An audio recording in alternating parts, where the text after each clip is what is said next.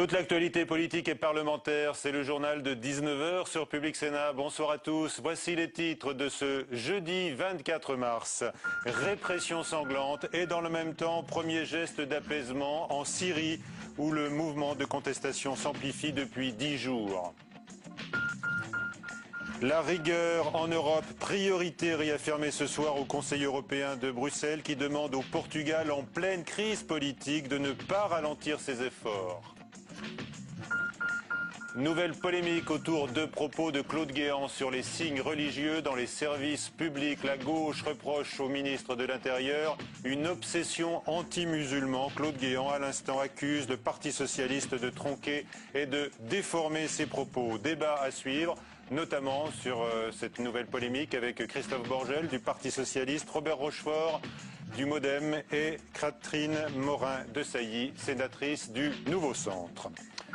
Première concession donc ce soir en Syrie devant l'ampleur de la contestation. Certaines revendications sont soudainement jugées légitimes. Des mesures anticorruption, une hausse immédiate des salaires des fonctionnaires ainsi que l'abrogation d'une très ancienne loi d'urgence sont annoncées à Dera, noyau dur de la révolte contre le régime du président Bachar al-Assad. Une centaine de manifestants auraient été tués hier par les tirs des forces de sécurité. Thomas Raguet. Dera, ville symbole de la contestation syrienne. C'est ici qu'ont démarré les premières manifestations le 18 mars dernier. Ici aussi que plus de 100 personnes auraient trouvé la mort hier après des heures avec la police. Ici enfin que 20 000 personnes se sont rassemblées aujourd'hui pour assister aux obsèques des morts de la veille. Après de nombreuses réactions de la communauté internationale, le gouvernement syrien a annoncé des mesures par la voix d'une conseillère du président Bachar el-Assad. Reconnaissant les revendications des manifestants comme légitimes, elle a annoncé que des mesures efficaces seraient prises pour lutter contre la corruption et évoqué la possibilité de supprimer la loi d'urgence en vigueur dans le pays depuis 1963. Ultime geste d'apaisement, le président Bachar el-Assad, discret jusqu'à présent, vient de promulguer un décret ayant pour effet une augmentation immédiate des salaires des fonctionnaires de 20 à 30 Alain Juppé a jugé aujourd'hui euh, irrépressible la révolte dans les pays arabes. Elle s'imposera partout, selon le ministre des Affaires étrangères, qui a cité la Syrie, mais aussi l'Arabie saoudite, le Yémen et Bahreïn. En Libye, la coalition accentue aujourd'hui sa pression militaire sur Kadhafi.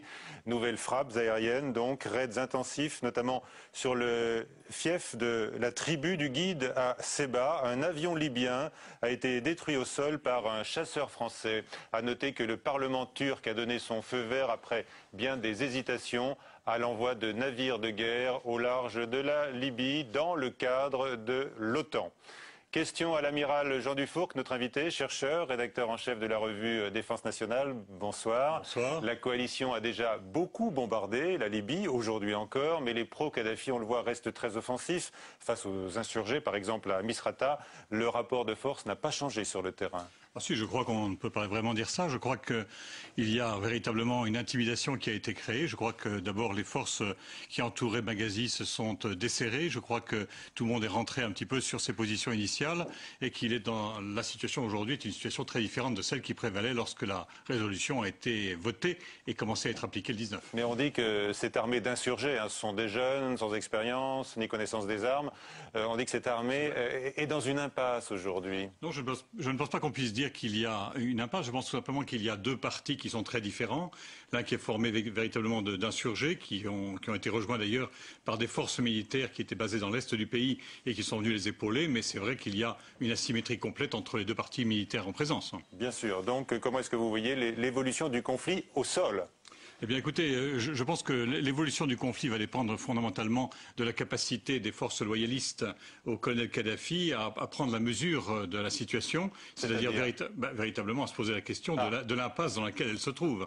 On ne voit pas que le régime actuel puisse survivre à la réalité à la fois de la rébellion, rébellion politique et de la pression internationale qui s'exerce sur, sur elle. C'est-à-dire euh, que le premier espoir aujourd'hui pour la coalition alliée et également pour les insurgés, ce serait une multiplication des défections ça serait de toute façon une prise de conscience très claire de la part des militaires qui entourent le colonel Kadhafi qu'il n'y avait pas de solution réelle à la reconquête du pays. Ils ne peuvent pas reconquérir le pays, ce n'est pas possible. Est-ce qu'on sait si une assistance est, en cours pour, euh, pour les forces rebelles Je ne sais pas, des, livraisons d'armes par l'Égypte euh, ou, même, je ne sais pas, un encadrement militaire pour, euh, pour, ces Libyens qui, veulent libérer eux-mêmes leur, pays, ils le disent. On, peut supposer qu'ils ont fait des, requêtes à un certain nombre de pays amis pour les aider dans leur combat et qu'ils ne vont pas rester l'impuissant face à une armée constituée. Et vous pensez que donc ces insurgés pourront gagner la bataille sans intervention au sol des alliés qui se contentent pour l'instant de frappes aériennes.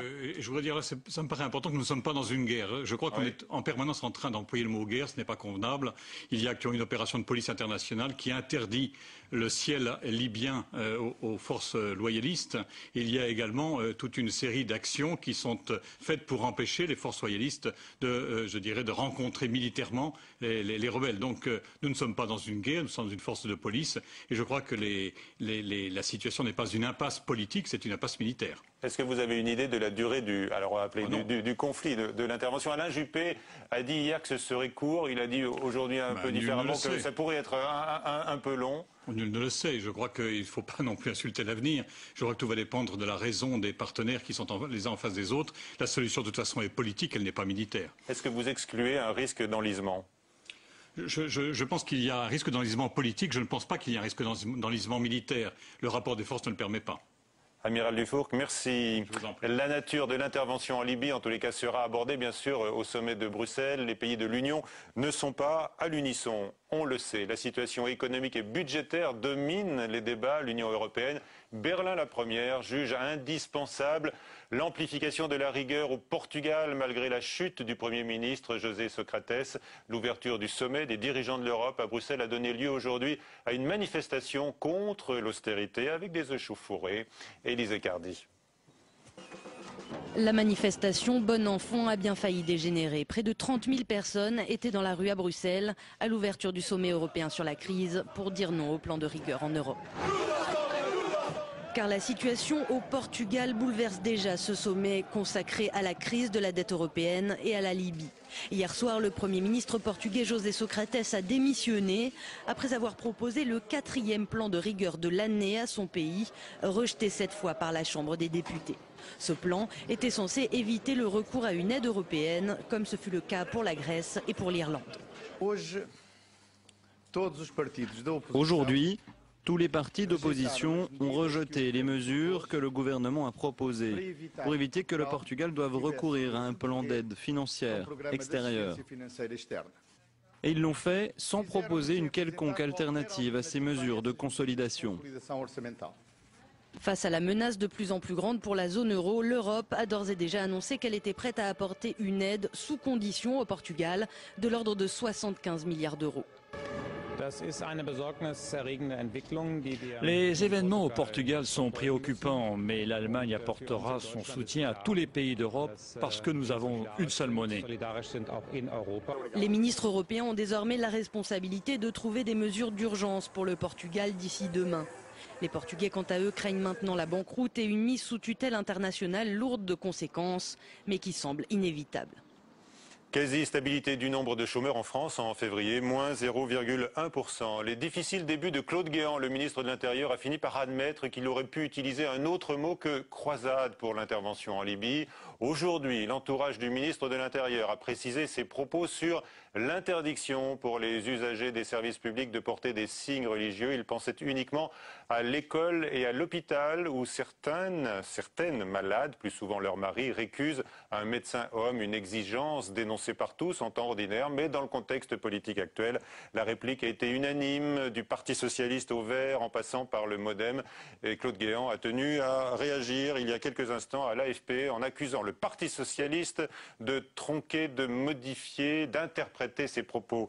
Michael Zamès, bonsoir. Bonsoir Michel. Euh, on peut dire euh, que les débuts du ministre sont hasardeux. Difficile hein, de passer de l'ombre à la lumière et passer aussi du cocon de l'Elysée à un ministre de tutelle et à la lumière, bien évidemment. Claude Guéant, vous savez, c'était un silencieux, posé, courtois, mais toujours mystérieux et surtout craint de la plupart des ministres. Et en moins d'un mois, il s'est mis à parler, il est devenu une cible, en tout cas pour l'opposition. La semaine dernière, rappelez-vous, c'était déjà une autre polémique à propos de l'immigration incontrôlée. Claude Guéant disait que les Français n'avaient plus le sentiment d'être en France. Une maladresse qui sonne aussi, aussi comme un sentiment d'échec de la part du gouvernement et un sentiment de course-poursuite contre le Front National. Le terrain est glissant, mais Claude Guéant n'hésite pas, car n'oublions pas une chose. Claude Guéant est en mission pour son mentor, Nicolas Sarkozy. Toutes ces polémiques sont-elles vraiment des dérapages incontrôlés ou une tactique électorale mûrement réfléchie pour contrer le Front National? Cette stratégie avait réussi en 2007 à Nicolas Sarkozy, mais au vu des résultats de dimanche soir pour les élections cantonales, on peut vraiment parler d'échec. Alors Claude Guéant passait de l'ombre à la lumière, c'était un homme protégé des attaques extérieures. Aujourd'hui, il devient vulnérable, peut-être un homme toujours indispensable à Nicolas Sarkozy. Il ne faudrait pas qu'il devienne un homme encombrant. Michael Zabès, merci. La majorité des sympathisants UMP, 54%, contre une consigne de vote au, second tour des cantonales. Le sondage du Parisien montre que le Front National n'est pas considéré comme un repoussoir absolu, selon l'analyse de l'Institut Harris Interactive. Le reportage de Mounir Soussi dans un canton de Nanterre, près de Paris, où reste en lice dimanche le Parti communiste et le Front National. À trois jours du second tour, l'UMP local applique à la lettre la ligne du parti.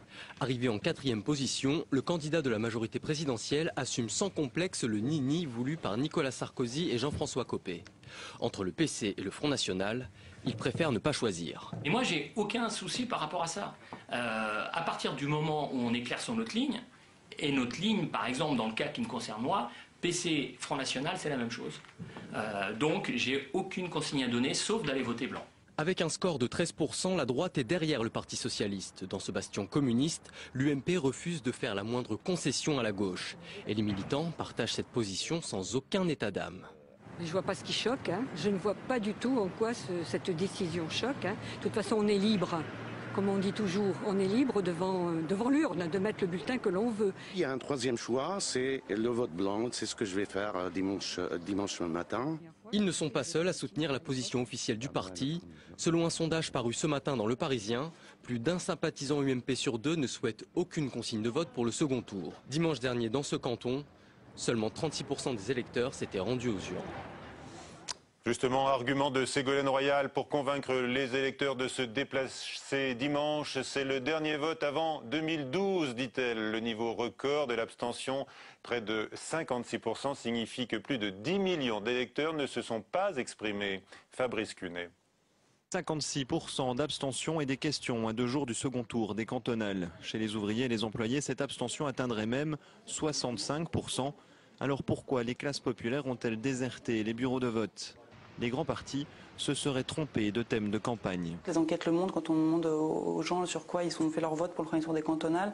Euh, certes, les enjeux locaux comptent, mais on est vraiment sur ces questions nationales et notamment sur cette thématique de pouvoir d'achat. Donc pourquoi se mobiliser, pourquoi aller voter à ces élections alors même qu'on n'entend pas nos attentes, on n'attend pas nos demandes et c'est d'autant plus fort chez euh, les catégories qui sont les plus précaires et les plus touchées par, euh, par la crise que sont notamment les ouvriers et les classes populaires plus généralement.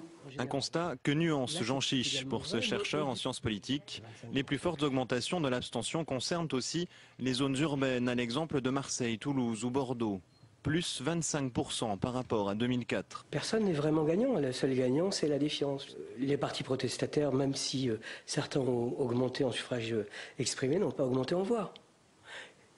Le Front National, par exemple, n'a fait que thésauriser et donc a, mobilisé son électorat. Il n'a pas progressé en voix.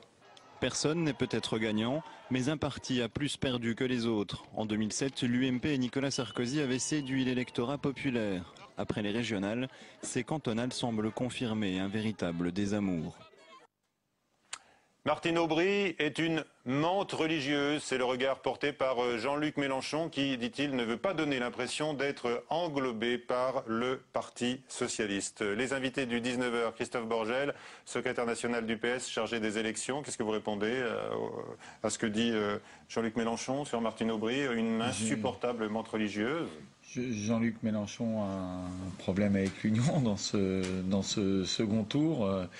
il a il a appelé euh, à ce qu'il y ait le désistement euh, pour le candidat de gauche le mieux placé et c'est quelque chose qu'il n'applique pas lui-même, par exemple dans le département du, Puy-de-Dôme. Bon, alors lui, il a ses contre-exemples évidemment où il accuse les écologistes de ne pas se désister pour, lui. Bon, alors, avec nous également Robert Rochefort, vice-président du Modem et député européen, et Catherine Morin de Sailly, sénatrice Nouveau Centre de la Seine-Maritime. Euh, bonsoir à tous. Pas un jour sans une nouvelle polémique autour de Claude Guéant, cette fois donc au sujet de ses déclarations visant les signes religieux dans les services publics euh, côté usagers. Euh, Robert Rochefort, est-ce que vous estimez qu'on lui fait un mauvais procès? Il estime que ses propos sont tronqués. Non, il est évident que Claude Guéant est suffisamment intelligent pour ne pas provoquer comme ça trois ou quatre polémiques à la suite en quelques jours sans que ce soit à la base une idée d'une stratégie politique. Ce Alors, ne sont pas les premiers pas hésitants d'un homme de, l'ombre, peut-être peut-être que si, peut-être que s'il était ministre depuis plusieurs années, il le dirait un tout petit peu différemment, mais c'est ça. Mais ah. c'est très grave.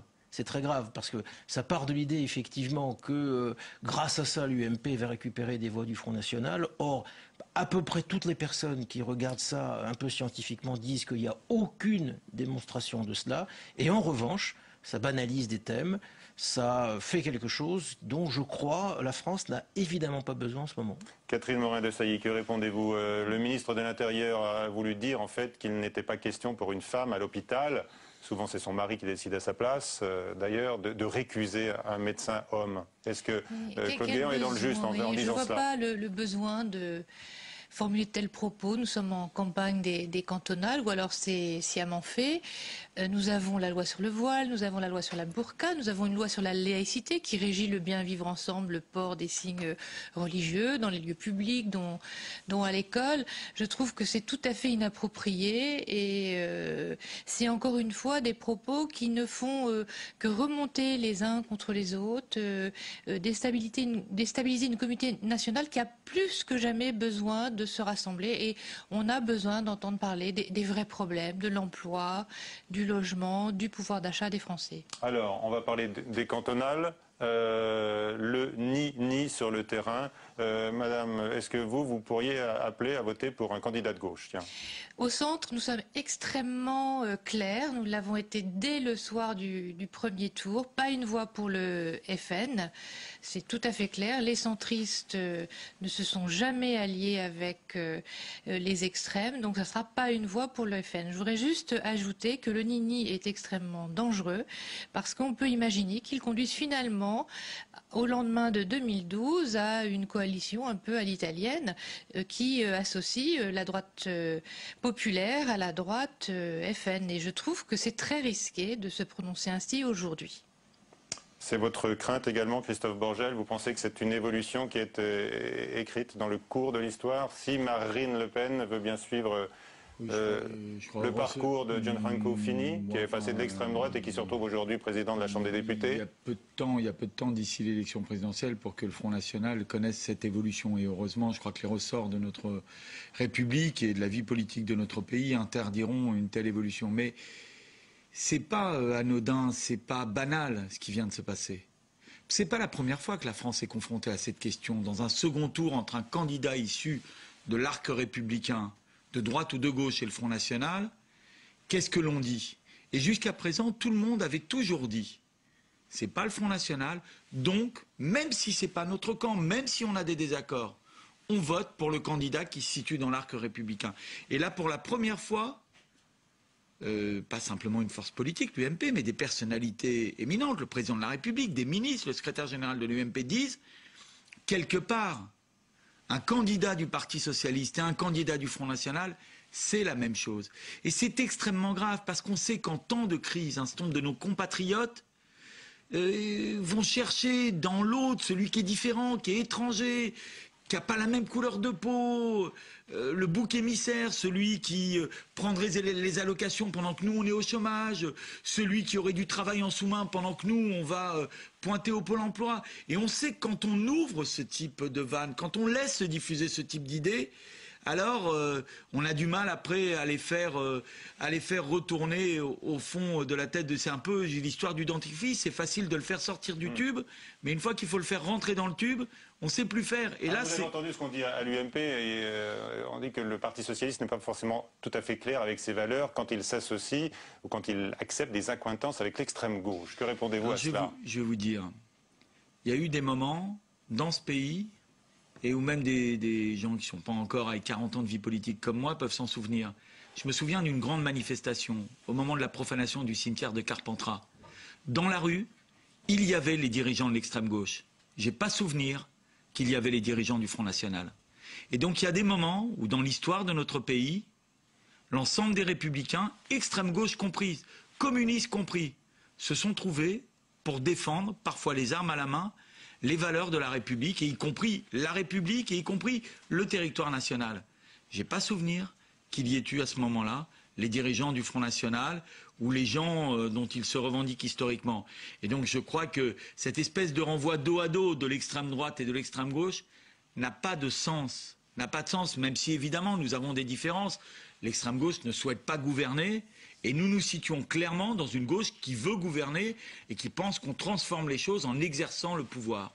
Alors Robert Rochefort, quand vous entendez ces propos, et après ce qu'a dit Catherine Morin de Sailly sur une possible explosion de la droite, hein, dans la perspective... On voit une ligne de fracture très clairement qui se dessine au sein de l'UMP. Alors Robert Rochefort, est-ce que vous, vous imaginez d'autres alliances, justement, entre, entre, entre euh, la gauche, le Parti socialiste et le Attendez, moi je crois profondément que l'immense majorité des responsables et même des militants qui sont dans la majorité présidentielle actuelle, c'est-à-dire pour l'essentiel l'UMP et certains centristes, comme on vient de l'entendre, je pense qu'ils ne sont pas d'accord avec euh, ce qui est en train de se faire et cette façon de câliner le Front National. Et d'une certaine façon, c'est évidemment très important. Je crois aussi à un ressort républicain si le danger est, là.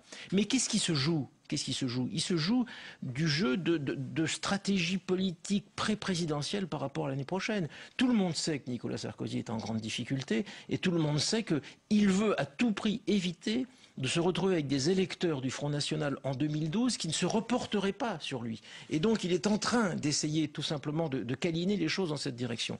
Quant à Marine Le Pen, c'est plus compliqué. Je suis comme vous, Michel Grossior, je pense qu'elle a une tentation euh, euh, italienne, pour le dire comme cela, que peut-être son père n'avait pas. Mais là, je crois qu'on est sur une échéance qui est effectivement lointaine. Alors, j'espère qu'on n'y arrivera pas. Mais à très court terme, on est en, train de faire de la tactique, euh, j'allais dire, du genre gendarme pour, euh, en mauvais jeu de mots, ce serait plutôt du préfet en l'occurrence, si on pense à M. Guéant, euh, la tactique par rapport à 2012. Et c'est terrifiant de penser, de penser qu'alors qu'il faut des valeurs, parce que la France va mal, l'Europe va mal, le sommet européen euh, qui s'ouvre ce soir, on est en pleine crise.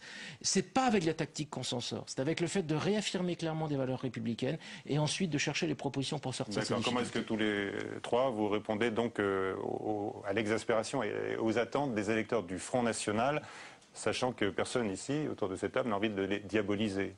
Non, bien sûr. Euh, je pense que le message tant de l'abstention à pratiquement 70% que de certains électeurs qui se sont reportés sur le Front National. D'ailleurs, ils sont ici de, issus de l'ensemble euh, du spectre politique. Ne nous cachons pas la, vérité. C'est une exaspération euh, qui s'exprime. Ben, on doit faire notre mea culpa. L'ensemble des partis politiques peut-être traditionnels, on le voit. C'est un signal très fort qui nous est envoyé.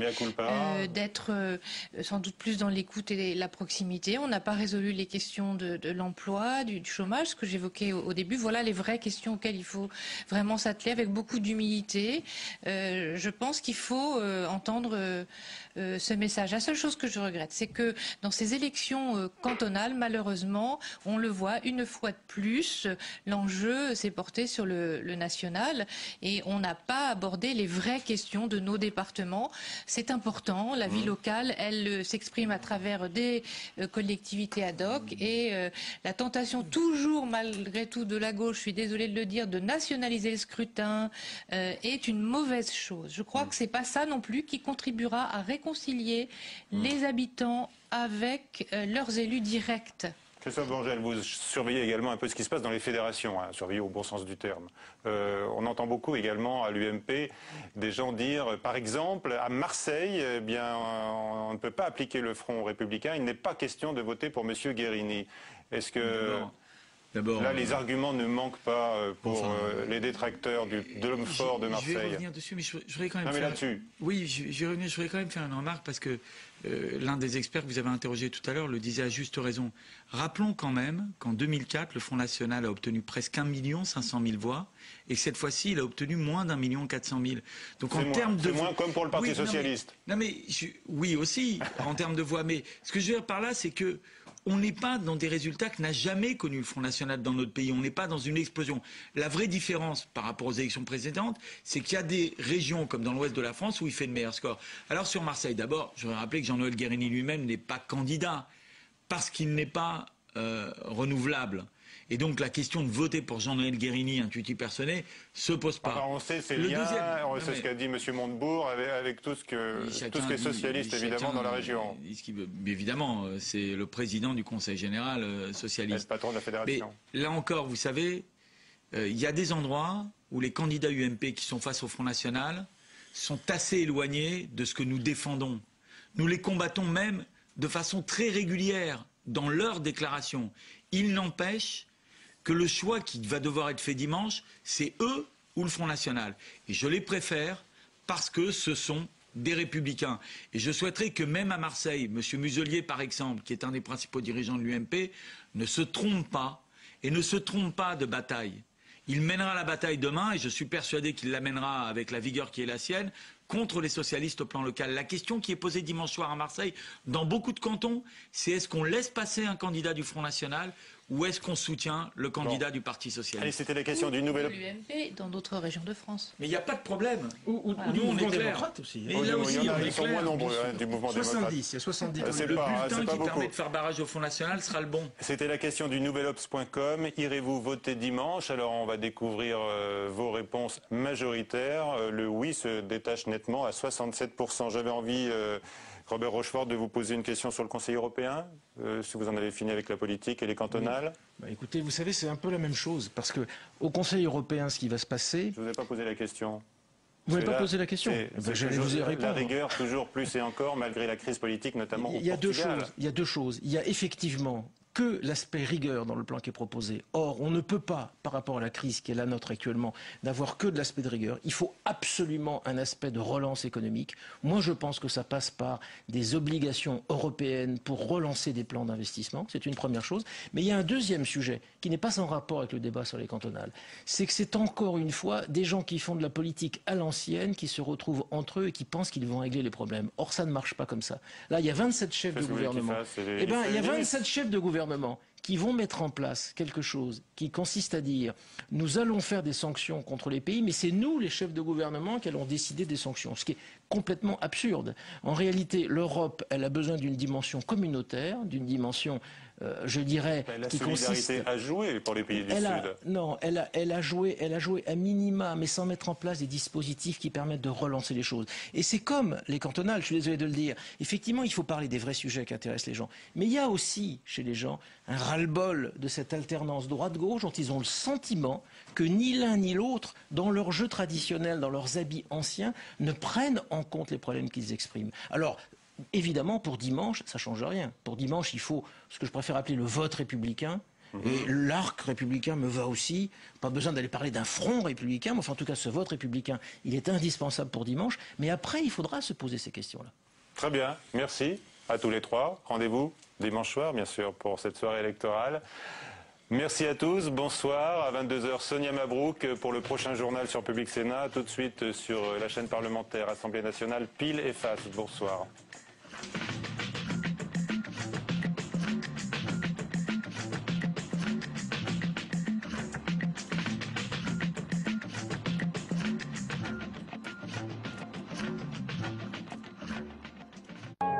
Dimanche, les chaînes parlementaires vous proposent deux soirées spéciales pour suivre en direct les résultats des élections cantonales. Reportage, analyse, débat. Deux soirées présentées par Myriam Ankawa et Michael Zamès.